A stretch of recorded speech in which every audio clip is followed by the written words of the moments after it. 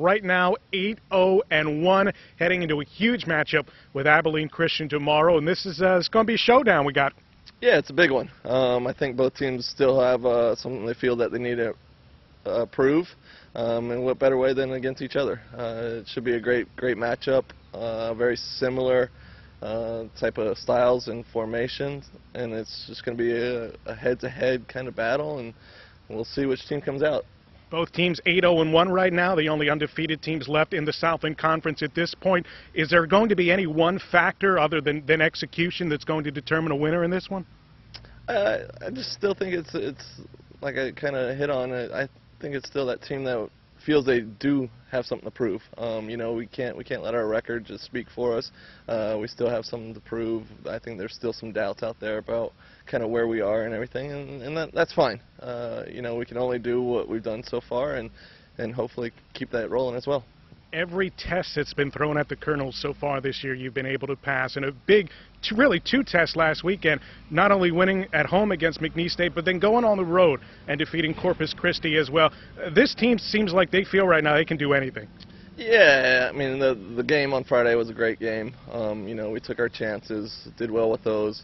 Uh, then to go ahead and get on the bus for a few hours, uh, we'll just leave it at that. Um, it, it was nice. So I think I think we did a good job of the setting that we put ourselves in, and in the the setting that Corpus has with their facilities and everything, kind of put it at ease and and made it made it enjoyable to play out there, to be honest. Um, and so we we were ready. We came out and and put them under some pressure early in the game.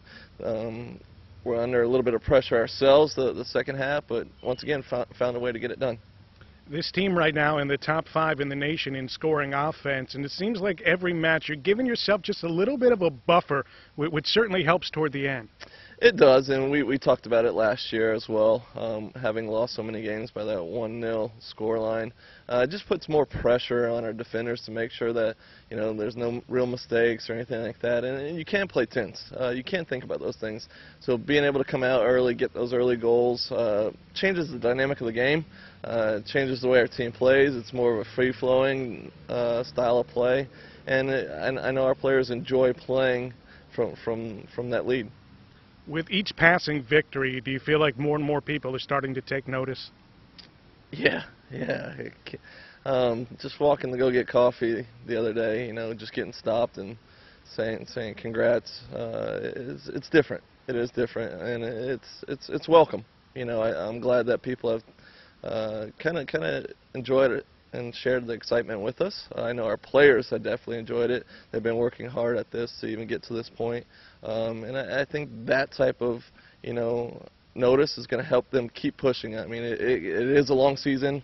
We're about halfway through right now, and we recognize that we still have some some things to accomplish. And but just being acknowledged for what we've done so far, but also the excitement of, you know, recognizing that more and more fans are going to hopefully come out to the games. Uh, I expect tomorrow to be packed.